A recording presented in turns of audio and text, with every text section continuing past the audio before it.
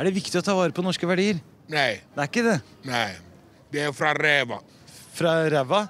Från Reva, ja. Liksom ræva Ja, ja akkurat.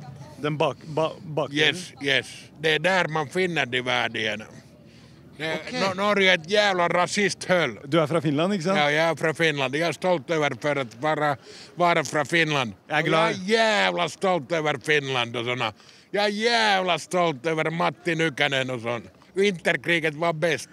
Nu har vi dräpt hundratusener av ryssare och såna. Det var gode tider, Och altså. var var nor norrmännen då?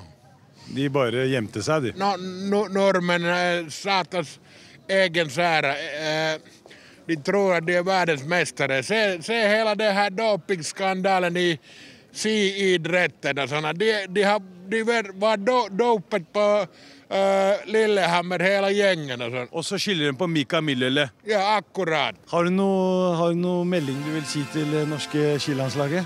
Kyss mig räva. I räva. Ja. Kyss mig räva. Det är där man finner de värdena. I räva. Är ett jävla rasisthöl. Kyss mig räva. Kyss mig räva. Det är där man finner de värdena. I räva. Kyss mig räva. Jävla stolt över Finland. Okej, nu går jag. Takk skal du ha. Det. Ha det godt.